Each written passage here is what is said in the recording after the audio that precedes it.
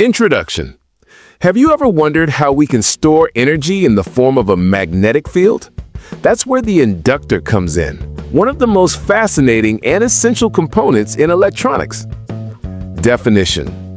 An inductor is a passive, two-terminal electrical component that stores energy in its magnetic field when current flows through it. Unlike capacitors, which store energy in an electric field, inductors rely on magnetism. Symbol and construction.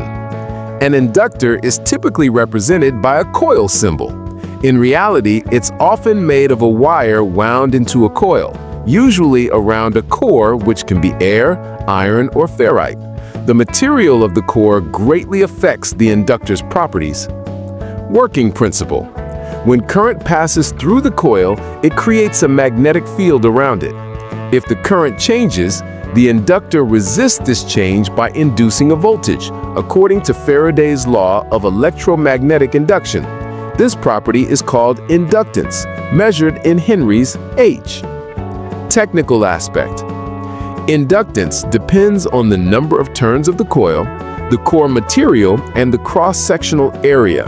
The formula for inductance is L equals N squared times mu times A divided by L, where N is the number of turns, mu is the permeability of the core, A is the area, and L is the length of the coil. Applications Inductors are everywhere in electronics, in transformers, radio tuning circuits, power supplies, filters, and even wireless charging systems.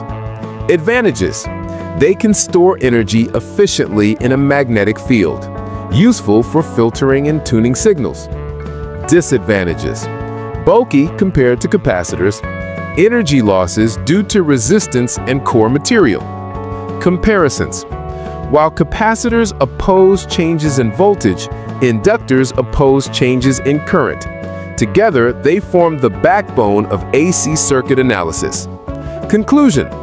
So, the inductor may look like just a simple coil of wire, but it plays a huge role in modern electronics, from power grids to tiny circuits inside your smartphone.